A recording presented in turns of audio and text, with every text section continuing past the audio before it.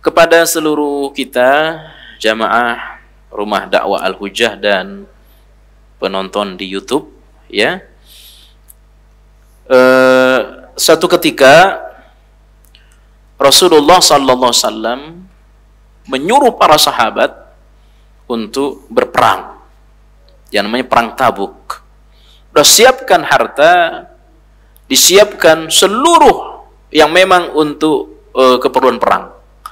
Begitu tiba hari perang, maka orang-orang pada berangkat, yang sehat berangkat.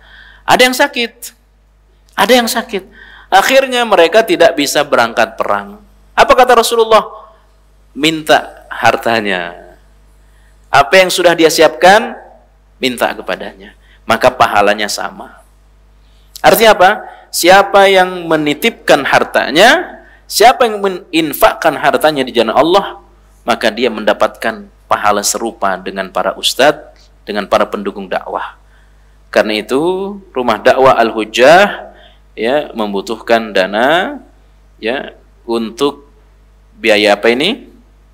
E, kontrakan ya, kontrakan tempat kita ini masih kurang berapa? 30 juta. Ya. Sampaikan info ini ke teman-teman kita, ke saudara-saudara kita, ya, terutama yang agak malas ngaji, nah berita ini sampaikan biar dapat pahala ngaji seperti kita. Bukan berarti yang ngaji nggak ngasih.